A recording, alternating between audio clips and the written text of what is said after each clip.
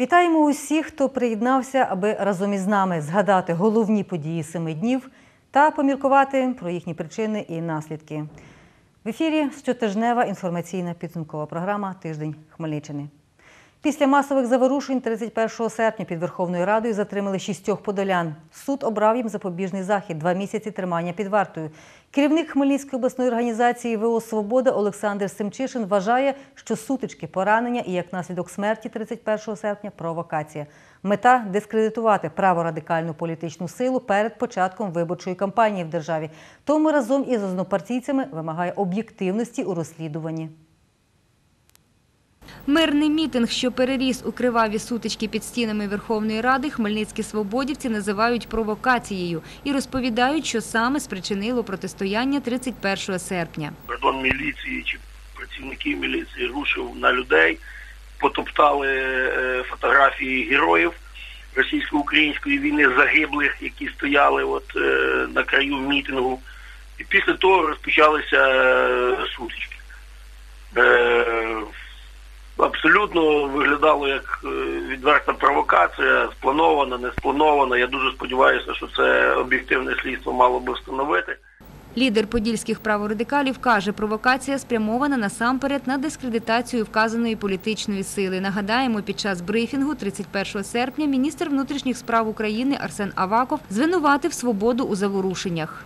Я впрямую обвиняю Олега Тягнебога и его партию «Свобода». Я считаю, что это преступление, а не политическая позиция. Я наблюдал видео, видел фотографии, фотодокументы, когда господин Тягнебок стоял вместе и рядом, когда избивали солдатов Национальной гвардии. Немає ніякої взагалі логіки, немає ніякого пояснення, для чого такі речі були в свободі за два місяці до виборів. Ніякого там піару тут і бути не могло. І свобода звичайно готувалася і мала проводити нормальну акцію протесту, мирну акцію протесту, яких вона провела е, Незліченну кількість, в тому числі в Хмельницькому. На сьогодні затримані шестеро подолян, двоє з яких є членами Всеукраїнського об'єднання «Свобода». Наразі суд обрав їм запобіжний захід – два місяці тримання під вартою. Щоправда, законних підстав на це немає, вважають свободівці, а суд називають судилищем. Жодного доказу е, немає, жодної людини немає ніде на фото, вона не присутня там ніде під час всіх тих сутичок. Є свідок, який його запевняє, де він бачив ту людину. Суд ні на що не зважає. Е, Без адвоката, без прокурора, без е, людей, які прийшли на підтримку, зачитує ухвалою і людину затримують на два місяці. Не вірять учасники акції протесту і в провину Ігоря Гуменюка. Тому вимагають об'єктивного слідства, а також експертизи для встановлення особи людини, яка кинула смертоносну гранату під стінами Верховної Ради. Вина людини може доведена тільки бути судом і все. Тільки суд може встановити він, не він. Там є якась людина в масті, в медичній, невисокого зросту. Тільки експертиза може довести, чи то він, і що він власне кидав. Зі слів кам'янецьких свободівців, які його добре знали, ну він дійсно дуже розумна, освічена, патріотична людина. Е, Вони кажуть, що вони вони навіть близько не допускають, що він міг би таке зробити. Олександр Семчишин наголосив, свободівці захищатимуть своїх побратимів і допомагатимуть їм відновити справедливість. Він застеріг журналістів від передчасних висновків і тим паче навішування ярликів. Адже дві третини затриманих – це справжні патріоти України, активісти Революції Гідності та учасники російсько-українського збройного конфлікту. У пікеті під стінами Верховної Ради 31 серпня взяли участь понад півтори сотні свободівців з Хмельниччини. Під час сутичок з нацгвардійцями, які охороняли будинок парламенту, в хід пішли кійки, димові шашки, а потім у бік правоохоронців полетіла граната. Внаслідок вибуху було поранено понад сотню нацгвардійців. Троє з них померли в лікарні. Як оприлюднили згодом, кинув гранату подолянин Ігор Гуменюк, боєць батальйону Січ і донедавна член Всеукраїнського об'єднання Свобода. Відразу в ЗМІ з'явилася інформація, що родом хлопець із Кам'янця-Подільського. Та, як виявилося, Ігор Гуменюк уроджений зовсім іншого району Хмельниччини. Більше про подільського підозрюваного знає гість нашої студії, журналіст, власний кореспондент газети Дзеркало тижня Світлана Кабачинська. Я вітаю вас, Світлана Іліна. Світлана Іліна, ви робили власне розслідування про всю цю історію і власне про персону Ігоря Гуменюка. Як ви вважаєте, що призвело взагалі до цих подій, якщо ви трошечки відійдемо від персони? призвело неоднозначне сприйняття суспільством і політичними силами у цьому суспільстві е, конституційних змін. Влада прагнула одного і прагнула провести ці конституційні зміни через парламент. Кілька політичних сил, які влада звинуватила суто в своїх е, партійних інтересах, тобто е, тільки в суто самопіарі, не бажаючи е, чи не вважаючи, чи не бажаючи бачити, що це справді люди з іншим світоглядом, з іншим ставленням. От кілька політичних сил привели своїх прибічників, щоб продемонструвати своє несприйняття цих конституційних змін. Е, На мій погляд, безперечно, таких е, провокацій можна було уникнути або можна хоча б було б їм запобігти, якби до цього поставилися професійно і серйозно усі силові структури, е, владні структури і, безперечно, ті політики, які вивели людей е, до Верховної Ради. Е, Про що потрібно говорити в цей час? Про особистість Ігоря Гоменюка. Він родом із Жабинець Чемеровецького району, студент Кам'янець-Подільського національного університету, економічний факультет, спеціальність туризм. Молодий хлопець, який вів здоровий спосіб життя, не пив, не палив, про якого усі абсолютно в його невеликому селі відгукуються не просто добре, а дуже добре. Як про серйозного, спокійного, врівноваженого е, хлопця, який завжди був готовий прийти на допомогу. Так само про нього відгукуються і студенти, і викладачі е, того навчального закладу, де він навчався, і е, ті люди, які з ним разом були в одній партії, в одній організації, тому що молодіжна організація Сокіл, яку в Кам'янці-Подільському очолював Ігор, це фактично молодіжне крило партії Свобода. І так само дуже добре, як про дуже врівноважену людину з серйозним ставленням до життя, говорять про нього в соцмережах е, ті люди, які служили з ним разом, як на людину, на яку можна було покластися у найзапекліших боях і в будь-яких ситуаціях. Через те всі, хто знає Ігоря Гоменюка, не вірять у те, що він міг таке вчинити. Е, Чи було це насправді, безперечно, може показати тільки слідство. Але слідство повинно бути неупередженим. Чи можемо ми сумніватися в тому, що воно буде чесним, прозорим, відкритим для громадськості? Звичайно, на жаль, можемо. Чому? Тому що буквально в перші години після е, цього, що сталося під Верховною Радою, уже представник е, влади, тобто міністр внутрішніх справ Аваков, заявив про те, що хто винуватець, що, е, хто саме винен, і е, підтвердив, так би мовити, свою публічну заяву перед телекамерами і у Фейсбуці. Скажіть, будь ласка, Світлана Ліна, чи дійсно у нього виявили під час затримання ще чеку і ще одну гранату? Цього Ну, ніхто не знає. Е, Була публічною е, прес-конференція його адвоката, е, теж свободівця, одного з найкращих е, адвокатів партії Свободи, який сказав, що, е, по-перше, це могли підкинути чеку від гранати, по-друге, е, Нічого у нього не знайшли насправді. По-третє, його били і вимагали від нього насамперед сказати, що він член партії Свобода. І крім того, ті е, дані, які в усякому разі мені повідомив е, голова обласної організації Свободи Олександр Семчишин, про те, що затримано ще е, шістьох свободівців, трьох із Кам'янця-Подільського, трьох із Хмельницького. І те, як вони були судом затримані на два місяці, ну, на жаль, наводить на е, сумні паралелі буквально з не- з недавнім минулим.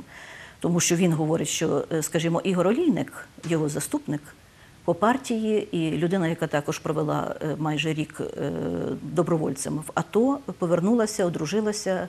Дружина зараз чекає дитину. Не була на жодних фото, на відео зафіксована як учасник будь-яких заворушень, тому що він, е, Олександр Семчишин стверджує, що е, Ігор Олійник був весь, весь час на весь цей час на сцені. Все одно його, незважаючи на те, що вони доводили в суді, от саме так, без жодних доведень, суддя тихцем прочитав е, рішення і залишив цю людину на два місяці за ґратами. Тобто, початок, на жаль, цього розслідування не дає можливості бути впевненим в тому, що воно буде тривати чесно, буде робитися, проводитися чесно, відкрито і ще раз повторюю, основне законно, щоб ми побачили правду, а не те, що хтось е, хоче показати, видати за правду. І найголовніше, про що ми можемо сьогодні говорити, що сьогодні може чекати суспільство після цих подій. На жаль, е, це ситуація, яка е, відбулася, ця трагедія, яка відбулася, говорить, по-перше, що влада не хоче чути іншу точку зору, ніж вона має сама. І це дуже сумно не тільки для політичних сил, це дуже сумно для суспільства. По-друге, е, що ми не маємо поки що підстав вірити в те, що правосуддя в Україні змінилося, що судова система в ньому змінилася.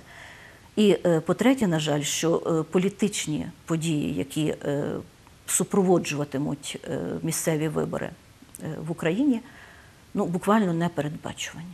Буквально непередбачувані сьогодні. Дуже сумно, що йде така ну я б сказала, цілеспрямована кампанія сьогодні проти однієї з політичних сил свободи. Я не ідеалізую цю силу. У мене теж Вважаєте, багато що до все це претензій. пов'язано із виборами?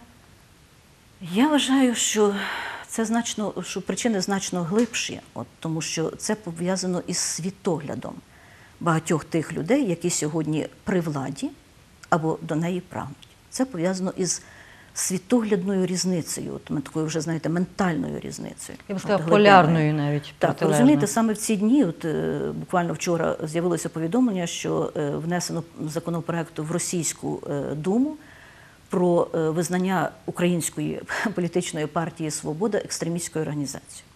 У цей же час е, ці події, які відбулися буквально от в понеділок, е, теж завершилися фактично тим, що почалися. Ну, поки що почалися спекуляції різних, не безпосередньо представників влади, але різних представників провладних сил у тому, що свободу потрібно заборонити як терористичну організацію. Ну, вибачте, якщо Росія, яка сьогодні є агресором щодо України, і е, влада, в всякому разі, провладні партії мають одну й ту ж саму думку, то це вже ненормально. Я вам дякую, Світлана Ліна, і за ваше розслідування, і за відверту і чесну точку зору. Дякую. Ми продовжуємо.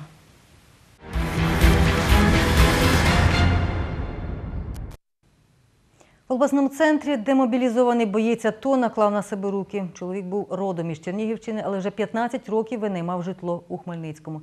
За попередніми даними, чоловік застрелився з автомата Калашникова, який привіз із собою зі Сходу. З виїзду на місце пригоди було встановлено, що е, попередньо даний громадянин покінчив життя самогубством шляхом пострілу з автоматичної зброї. На місці пригоди виявлено автоматична зброя, магазин, деякі набої. Під час з'ясування обставин, а також предсмертна записка. Звернення до власника будинку, що дослідно Валера, ти був до мене милосердний, пробач мене. Під час з'ясування обставин встановлено попередньо, що даний громадянин е, проходив е, службу в зоні проведення антитерористичної операції в період з вересня минулого року по березень поточного року. На даний час відомості внесені до єдиного реєстру досудових розслідувань за ознаками статті 115 частини вбивство. Але під час проведення перевірки, якщо буде доведено факту, що дійсно особа вчинила самогубство, провадження буде закрите.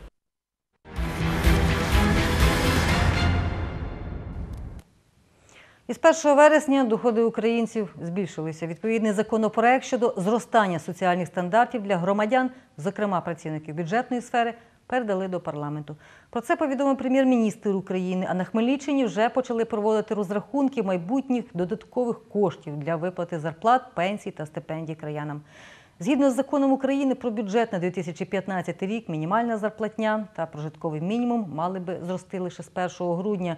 Чим виправдане таке різке завзяття урядовців і чи подальші державницькі рішення щодо реформування дозволять відчути подолянам збільшення власних статків, дізнавалася Світлана Золота.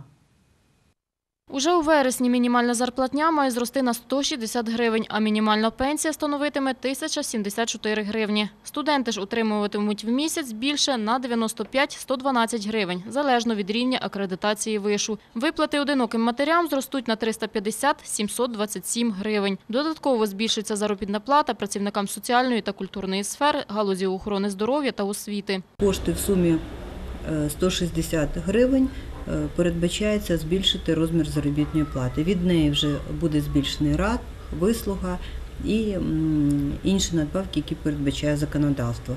Та чи витримують бюджети таке навантаження? Якщо є резерв, і прем'єр на це оголосив, і уряд розглянув питання виніс на розгляд Верховної Ради, то це є ті кошти, які вже зароблені. Тобто вони вже є в резерві і вони можуть бути використані, спрямовані. То, що дана постанова не надасть ущербу е, бюджету, це однозначно. Це будуть розподілені кошти, які вже залучені. Економісти ж налаштовані менш оптимістично. Це не вихід зі становища, тому що інфляційні процеси справді е, е, наростають більш потужними темпами, ніж е, е, обіцяне підвищення. Що стосується економічних питань, то е, фактично це підвищення однозначно з'їсться тими комунальними е, підвищенням комунальних е, платежів і іншими соціальними виплатами нашого населення. Крім того, впевнений економіст, це підвищення більш політичне, аніж економічно обґрунтоване. Підвищення заробітної плати пенсії в економічно розвинених країнах є обґрунтованим тоді, коли відбувається зростання валового внутрішнього продукту, зростання товарної маси.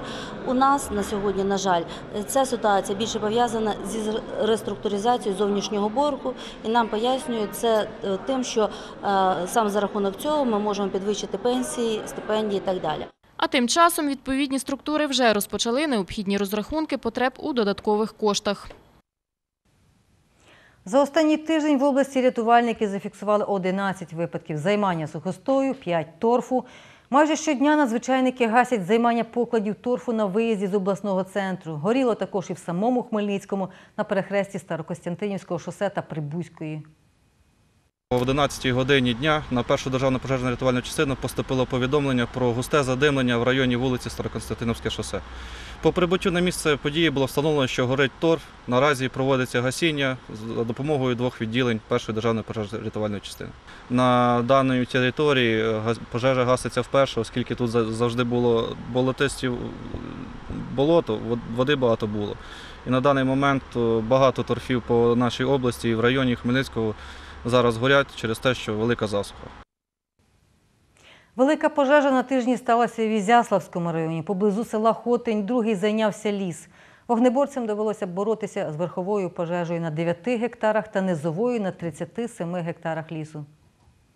До ліквідації пожежі залучалися сили і засоби Шепетівського зведеного загону, який був е, піднятий за сигналом збір аварія, а це більше 120 чоловік особового складу Державної служби надзвичайної ситуації та понад 20 одиниць пожежної та спеціальної техніки з 9 районів Хмельницької області. Крім того, на пожежі працювало більше 80 працівників е, Ізяславського, Славутського, Шепетівського лісгоспів, пожежні розрахунки військових частин та місцевої пожежної охорони. Ускладнювало гасіння пожежі це те, що е, сильні пориви вітру, швидке розповсюдження пожежі і те, що більше 80% насаджень складало сосновий ліс. Пожежна техніка розосереджувалася по периметру пожежі, проводилося відсікання поширення вогню. Працівники лісгоспів вирубували дерева та влаштовували додаткові мінералізовані смуги на шляху поширення вогню. Для недопущення повторного займання на місці події залишалися чергувати рятувальники. У зв'язку з численними пожежами лісів і торфовищ лікарі радять обмежити перебування на відкритому повітрі. Найперше це стосується дітей та вагітних. І особливо вранці, коли в населених пунктах стоїть затяжна імла. Окрім того, потрібно ретельно мити овочі з власних городів. Якщо в ці дні ви потрапите під дощ, необхідно якомога швидше прийняти душ. На ігрових майданчиках обмежити контакт дітей з піском і ґрунтом. У разі появи ознак задишки, кашлю та безсоння необхідно звернутися до лікаря. Без води, але з рибою жителі села Солопківці Ярмолинецького району потерпають від неможливого смороду, який доноситься зі ставка. У водоймі спустили воду, але не виловили рибу. В результаті вона здохла, і тепер сморід від неї задає чимало клопоту селянам. Місцеві жителі звинувачують сільського голову у бездіяльності, а він вважає винною всьому спеку. Тему продовжує наша кореспондентка. Людмила нещодавно приїхала у Солопківці навідати своїх батьків, які живуть біля місцевого ставка. Проте замість приємної домашньої атмосфери нестерпний сморід на всю околицю. Дівчина розповідає, все почалося навесні, коли місцева влада приспустила став. Коли цей став в принципі був наповнений водою, і почали там з- іншої сторони скаржитися, що там комусь підтопило город, чи там сталося там таке в них. Який там невідомо, чи це взагалі їхній город, чи це до, до орана там долина. Голова селищної ради прийшов е, з, з хлопцями, з дільничим нашим і розкрили сточну трубу. Відкрили сточну трубу, яку після того вже ніхто не контролював. А далі спека зробила свою справу. Вода майже вся висохла, а риба, яка скупчилася біля греблі, здохла. І вже два тижні сморід від її решток дошкуляє усім. Кажуть, зверталися до сільського голови, проте досі нічого не зроблено. Ну, можна якісь міри прийняти, щоб задихнутися ні в хаті, ні в кухні, ніде нема спокою. Я їсти не можу зварити, мені 70 літ. Ходимо до школи, мусимо будемо обходити далеко, другою стороною, бо того, що невозможно прийти. Дитині закриваємо носика постійно. В хаті не можна не відкрити ні вікна, нічого. Сільський голова, який тільки кілька днів як повернувся з відпустки, не заперечує, що ставок доводилося приспускати. Проте переконаний, у всьому винна аномальна спека. Ці рибаки, які там колись за ним рибачили, закривали мішки, камінці і забивали трубу, щоб вода більше була вода. Підтоплювало городи і підтоплювало саму греблю. Ніколи вода там не висихала, щоб хіба як спускали рибу, став спускали тоді. А так ніколи вода ж не висихала. Це перший рік, що так висохав. І у бездіяльності, запевняє голова, його нема чого звинувачувати. Це станцію я дзвонив. Ну, казали, ви зберете рибу і закопайте її. В мене дзвон, я дзвонив, вон і сьогодні я з ними був, щоб чи якісь дали, допомогли з ним щоб зібрати от, ті противогази. І зараз воно дзвонює, щоб визберете це треба. Це обов'язково. Ну, у нас розумієте так, як рибачити, то є кому. А якщо їх все, то це проблеми мої. Ну нічого будемо, ми їх рішимо.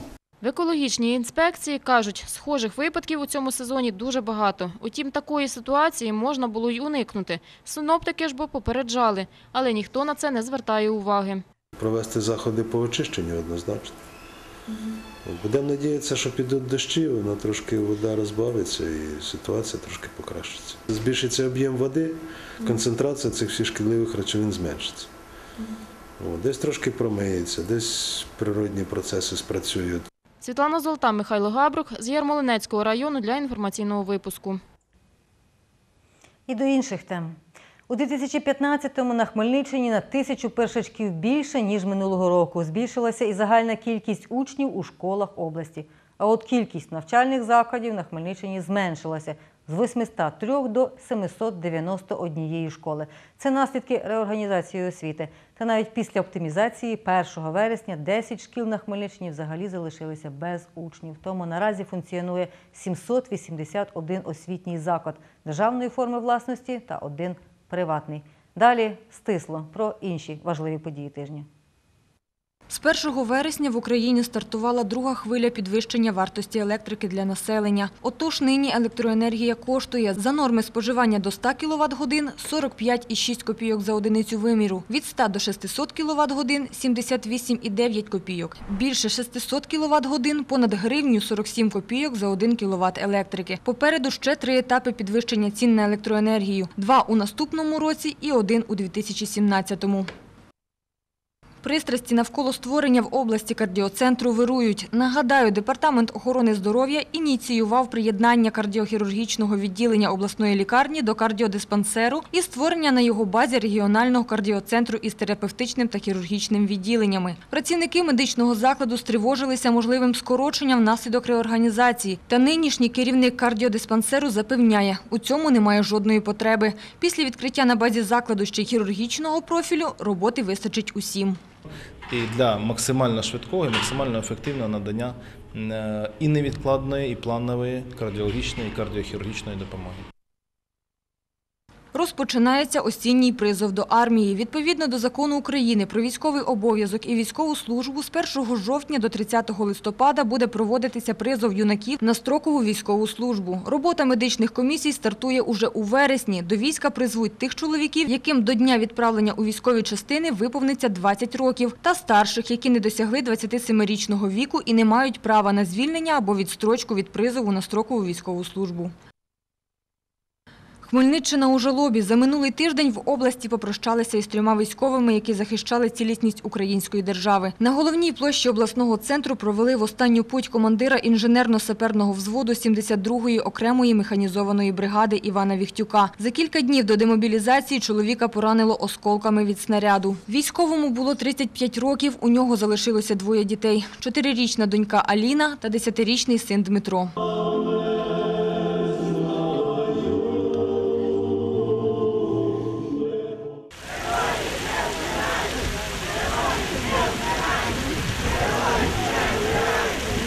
Ще одного земляка Олега Середюка 2 вересня поховали на Ярмолинеччині. Військовослужбовець загинув під Волновахою від прямого попадання міни в бліндаж. У чоловіка залишилася сиротою семирічна донька. На день раніше прощалися із героєм у селі Крупець Славутського району. Олександр Гуменюк, батько двох дітей, загинув 26 серпня під час виконання військового обов'язку на Донеччині. Вічна слава героям. Її двічі визнавали найкрасивішою валютою світу. Вона одна із найстаріших грошових одиниць на планеті, але 2 вересня українська гривня відсвяткувала лише 19-й офіційний день народження. За свою історію національна валюта пережила і злети, і падіння, але на початку цього року сягнула свого історичного мінімуму. Та це ще не межа. Інфляція з'їдає все, а з осені, зимою ми ще відчуємо це все, все більше і більше. І я не можу сказати, що це на користь суспільству і нам. Нам потрібні розумні економічні рішення. Півтора року тренувань і вперед підкоряти світ. Хмельничанка Софія Сікорська стала чемпіонкою етапу Кубку світу з тхеквондо G1, що відбувся в Польщі. Дівчина виступила в розділі кадети. Окрім золота, в арсеналі збірної області срібна та бронзова нагороди. Разом із Софією Сікорською медалі світових змагань узяли два спортсмени з Кам'янця-Подільського – Ганна Ковальчук та Олег Маматов. На цьому ми завершуємо наш тижневик. На все добре.